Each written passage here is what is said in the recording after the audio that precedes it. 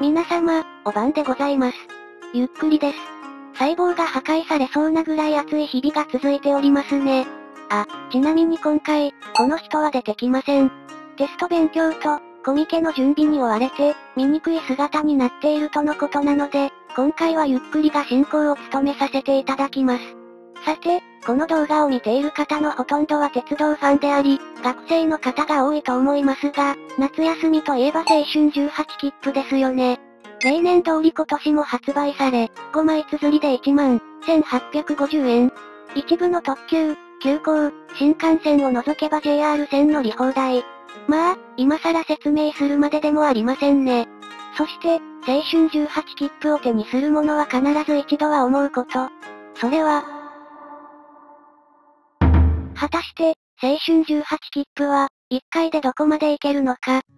ぶっちゃけ言うと、ググればすぐに答えが出てくるのだ。ご存知の方が多いかと思いますが、2018年8月現在のダイヤで行くと、東京駅を朝の4時55分に出発し、福岡県の小倉駅に0時4分に着くルートが、現行では最長。その距離なんと、1129キロ。エコノミークラス症候群にならないか心配ですね。ということで、青春18切符の限界は東京から小倉。とは、いかないのである。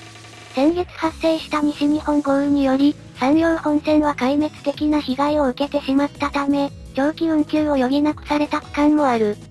では、2018年8月に、青春18切符で旅行をする際、本当の限界はどこなのか、調べてみました。本題に入る前に、いくつかお断り。これより先に出るダイヤは、すべて2018年8月1日現在のものです。最新のダイヤを知りたい方は、最新の時刻表を見ましょう。さらに、2018年8月1日現在、西日本豪雨による、主な鉄道路線の影響は以下の通り。青色に塗られているのが、通常通りのダイヤで運行している区間。黄色に塗られているのが、列車の本数を減らしている区間。赤色に塗られているのが、運休している区間。黒色に塗られているのが、長期にわたり運転ができない区間です。これに伴い、山陽新幹線の三原広島駅間、新岩国徳山駅間で代行輸送を行っています。青春18切符の場合、7月6日までに購入した方のみ、新幹線の代行輸送を利用することができます。逆を言えば、7月7日以降に購入した方は、新幹線の代行輸送は、利用することができませんのでご注意ください。以上を踏まえて、お話を進めていきます。まずは、現行ダイヤでの最長ルートは、今年の夏休みでもできるかという検証。こちらが、青春18切符を7月7日以降に購入した人が、東京駅から西へ向かう際の最長ルート。この画面では、糸崎までのルートを示しています。実は、糸崎より、山陽線経由でも、呉線経由でも、広島方面に抜けることはできません。よって、厳密に言えば、三原駅より西へ向かう場合は、強制的に追加料金を払って別の手段を講じるか、もしくは、迂回するしかない。現実的なことを考えると、黙って追加料金を払った方が良さそうですね。追加料金を払う場合、大体2パターンに分けることができます。一つ目は、糸崎駅で降りず、途中の福山駅で降りて、高速バスに乗車する方法。広島交通、中国バス、友鉄道が運行している高速バスを利用すると、このようなルートになります。東京方面からやってきて、福山駅には17時34分着。バスは福山駅前を17時45分発。広島駅の隣の駅である新白鳥駅前には、19時29分着。さらに西へ向かう場合、以下の列車を乗り継げばよいのだが、限界は新山口駅。このルートを取ると、新山口駅が限界となる。次に、パターン2を見てみよう。パターン2は、東京方面からやってきて、糸崎駅で降りてさらに乗り換えて三原駅へ。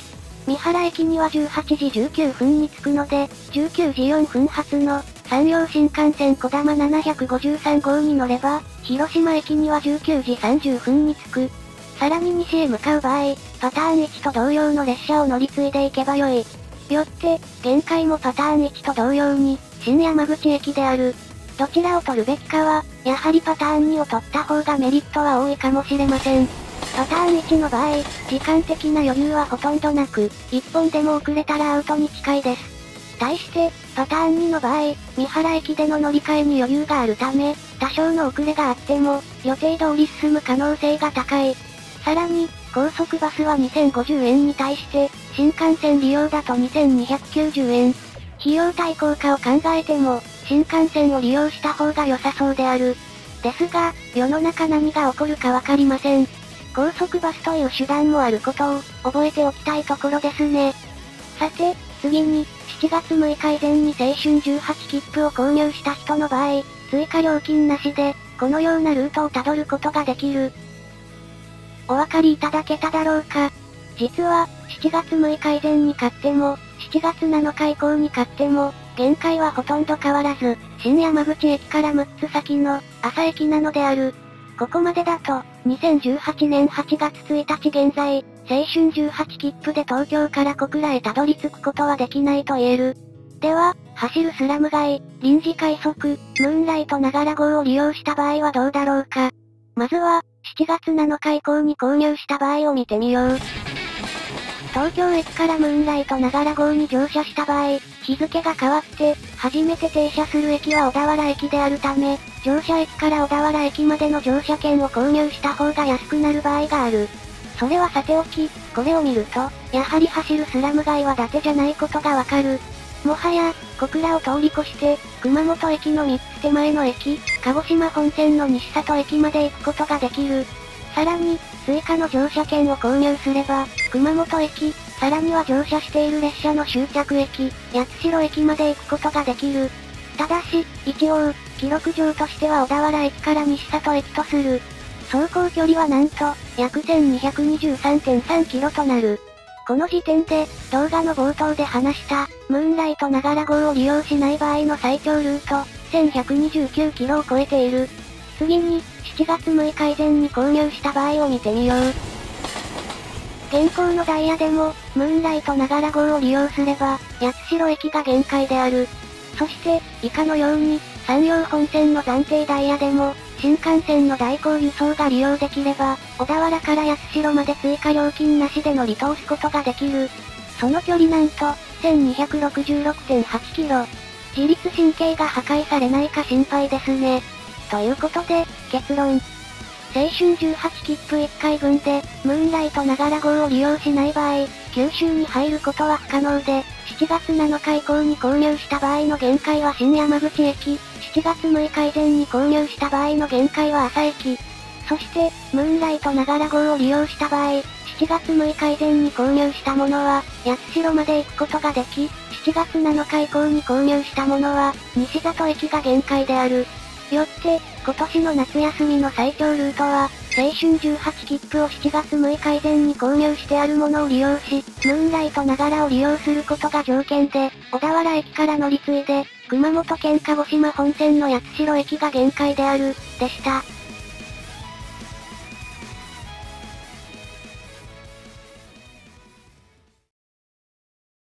おまけ。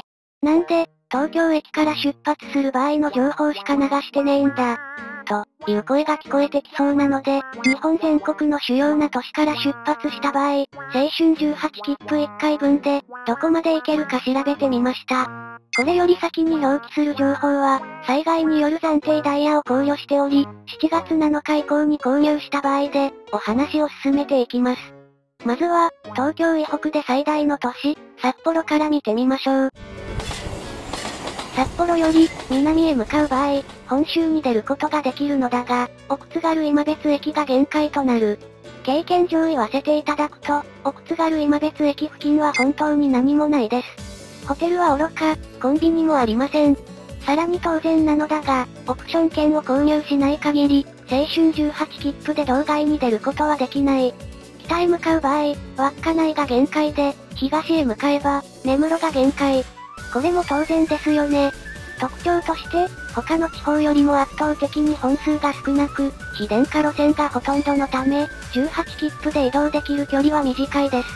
そして、こちらが札幌から1回分で行ける、主な都市です。基本的に、道内を1回分でたどり着けない場所はない。順調に乗り継げば、北日本で3番目の人口を誇る、旭川には3から4時間程度。夕方には釧路、夜には函館、稚内、網走、知床斜里、根室にたどり着ける。これを見ればわかるが、やっぱり北海道のデカさは半端ねえって。続いて、どっかの誰かさんが住んでいる、森の都仙台を見てみましょう。北の限界は、彦内駅。鬼門となるのがやっぱり盛岡と青森をどうやって越えるか。青春18キッパーにとって、この区間は、箱根駅伝の難所、ゴンタ坂よりもきつい。西へ向かうと、姫路駅が限界。よって、仙台からだと、1回分で東京、名古屋、大阪に行くことができる。さらに、18切符縛りだと陸の孤島である長野にも行くことができる。ちなみに、仙台から一番行きにくい地方は北陸地方。新潟県を除くと、1回で行けるのは敦賀駅が限界。直線距離では、富山や金沢の方が近いのに、仙台からだと、2回分必要になります。そして、こちらが仙台から1回分で行ける、主な都市です。お昼には、東京、新潟、夕方には青森、夜まで乗り続けると、名古屋、大阪、長野、敦賀にたどり着ける。注意すべき点は、首都圏と比べて始発列車の出発時刻が遅いことである。まあ、首都圏と比べてはいけないかもしれませんが。次に、何地方に属しているかわからない選手権で、見事優勝した、新潟を見てみましょう。北の限界は、仙台と一緒で来ない。西は、大阪の電車特定区間内であるため、西明石まで行くことができます。さらに、新潟は仙台と同じく、1日で福井の敦賀には行けるが、富山、金沢には行けません。しかし、仙台と違うのは、同じ新潟県である糸魚川には行けることである。同じ県であり、直線距離にすると、たったの143キロ。にもかかわらず、青春18切符縛りをすると、約17時間もかかってしまう。ちなみに、直線距離を所要時間で割ると、約、時速8.41キロとなる。ジョギングのスピードと一緒です。黙って新幹線使いましょうね。そして、こちらが新潟から1回分で行ける、主な都市です。お昼には仙台、東京、午後には青森、夜まで乗り続けると、長野、敦賀、名古屋、大阪にたどり着ける。青森には、仙台よりも早くたどり着けるという、逆転現象が起きる。さらに、富山、金沢方面は、山積路線が立ち塞がっているため、西へ向かうのが非常に困難になっているのが特徴である。続いて、皆さんお待たせ。東京を見てみましょう。ムーンライトながら号を利用したとしても、東京から乗った場合、2枚必要になるので今回は除外します。以下はすべて、ながら号を利用しない場合を表記しています。これを見ると、1回分で、本州のほぼ全域に行くことができ、さすが東京と言える。数年前のダイヤでは、東京から乗車した場合の、北限は秋田駅だった。だが、現行のダイヤでは、青森まで行くことができる。さらに、青森港深夜2時40分発のフェリーに乗り、函館へ向かうことも可能である。そして、仙台、新潟の鬼門だった、富山、金沢へも、難なくたどり着けるのである。そして、西の限界は、先ほど述べたように、山陽本線の暫定ダイヤで行くと、新山口駅。ただしこれは、三原駅と広島駅の間を、新幹線利用した場合を示しています。通常通りの運行ができれば、小倉駅まで行くことができる。そして、こちらが東京から1回分で行ける、主な都市です。お昼には、名古屋、仙台、午後には大阪、夕方まで乗れば盛岡、金沢、広島、さらに夜まで乗れば、四国の松山、徳島、山陰の鳥取、下関の手前、新山口、北海道の手前、青森に行けちゃいます。注意していただきたいのが、唯一、四国で行けないのが、高知です。徳島と高知の県境にある、大保家駅が、現行のダイヤで行ける限界です。どうしても1日で行きたい場合は、大保家駅から、特急列車を利用するしかありません。続いて、行きたくない街、堂々1位に選ばれてしまった、愛知県は名古屋を見てみましょう。北の限界は、岩手県の北上駅。西の限界は、ムーンライトながら号を利用した場合、西里駅。ムーンライトながら号を利用しない場合は、荒木駅となる。鬼門である、金沢、富山にも、余裕でたどり着ける。東京と明確に違う点は、長良号を利用する、市内に関わらず、九州には確実に入れることである。そして、こちらが名古屋から1回分で行ける、主な都市です。大阪は目と鼻の先。8時前には着けます。午前中には金沢、昼まで乗ると東京。午後には広島、夕方には仙台。夜まで乗ると、博多、熊本まで行けます。西の限界、西里駅に挑戦したい方は、名古屋から西へ向かう始発列車、長良号の乗車、さらに、土休日に行うことが、絶対条件となります。続いて、通勤電車が早すぎる街、大阪を見てみましょう。北限は宮城県の石越駅。西の限界は、佐世保線の佐世保駅。ちなみに、JR の最西端に位置している駅でもある。また、日光本線に回ると、佐伯駅が限界となる。そして、こちらが、大阪より1回分で行ける主な都市です。大阪から1回分で、四国全域にたどり着くことができる。名古屋には8時過ぎ、香川県の高松には9時半頃。お昼には金沢、広島、鳥取。午後には東京、高知。夜まで乗ると、博多、熊本、仙台までたどり着ける。ちなみに、ギリギリ新潟には行けない。新潟の手前、長岡が限界となります。次に、新幹線が開業して、18キッパーにとって、陸の孤島となった、金沢を見てみましょう。長野と同じくらい、18切符を利用しづらい金沢。ここまで、東に行きづらい街を見たことがあるだろうか。東へ向かう場合、18切符縛りをすると、一度東海道線側に出なければならず、想像よりも北には行けない。現行では、福島県の福島駅が北限となる。西の限界は、朝駅となる。ちなみに、四国での限界は、須崎駅となっている。そして、こちらが金沢から1回分で行ける、主な都市です。お昼には、大阪、名古屋、午後には高松、夕方には東京、広島、夜まで乗ると、鳥取、高知までたどり着ける。ちなみに、お隣さんも陸の孤島である富山には、約13時間半かかる。直線距離は60キロであるため、所要時間で割ると、時速4.44キロとなる。ほとんど、人間が歩くスピードと一緒です。黙って新幹線使いましょうね。次に、お好み焼きを、広島風と呼んだら処刑される、広島県は広島駅を見てみましょう。2018年7月の西日本豪雨により、ダイヤ通りに動いていない路線が多い。2018年8月1日現在、暫定ダイヤで行くと、東の限界は、常磐線の日立駅。東北線だと宇都宮駅となる。南の限界は、指宿枕崎線の山川駅。西の限界は、佐世保駅です。そして、こちらが広島から1回分で行ける、主な都市です。九州は、一部を除いてほぼ全域にたどり着くことができ、四国では全域にたどり着ける。お昼には、大阪、博多、午後には熊本、高知、名古屋、金沢、夜まで乗り続けると、鹿児島、東京にたどり着ける。注意したいことは3つ。1つ目は、ダイヤ通りに運行していない区間が多いこと。2つ目は、東へ向かう際、新幹線や高速バスを利用しない限り、三原へ抜けることができないこと。3つ目は、三原駅での接続が悪いこと。以上の3つには注意しましょう。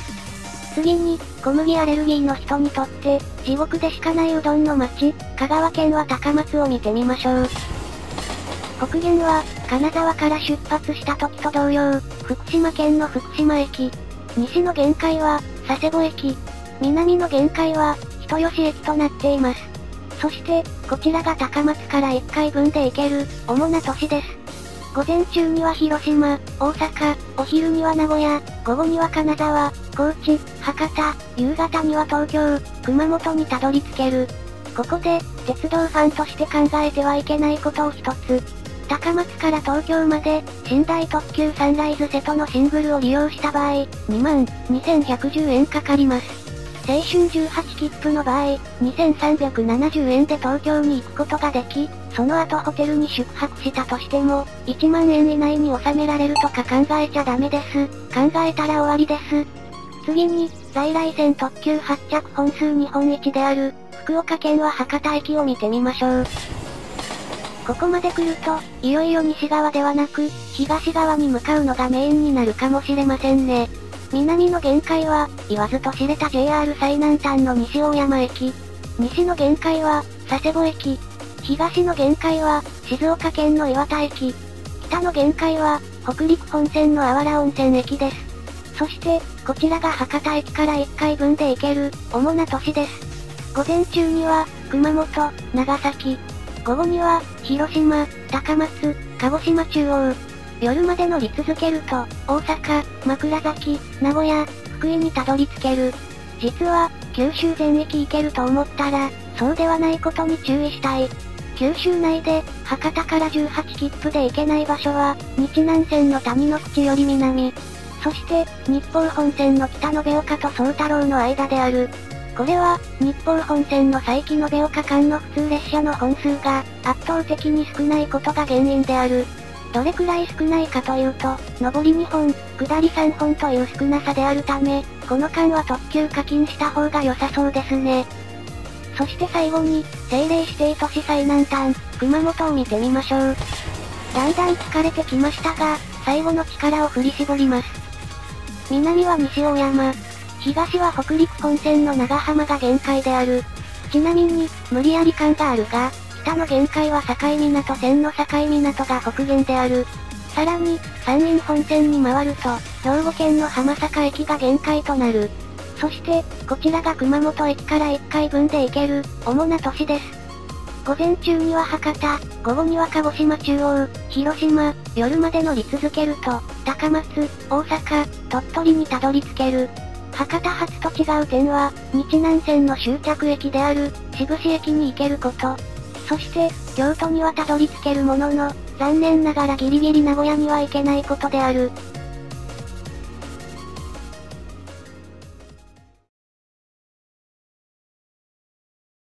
ここまでを見て、あなたは、日本は狭いと思いますか？それとも、広いと思いますか？狭いと思った方は、ぜひとも夏休みやお盆に、青春18切符片手に旅をしてほしい。そして最後に、私から、ほんの少しだけお願いがあります。